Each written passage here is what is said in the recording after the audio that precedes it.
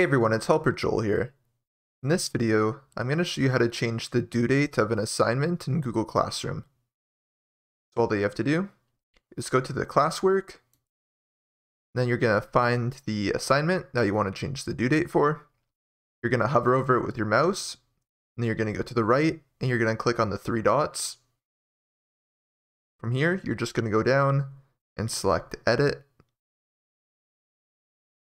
once you're on this edit page, you can go to the right side of your screen, you go down to where it says due, and then below this, if you click on this box, you can now click on the date right here, and then select a new due date for it.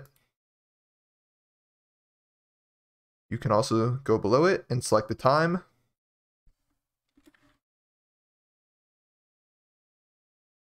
Once you've done that, just go to the top right of your screen and click on Save.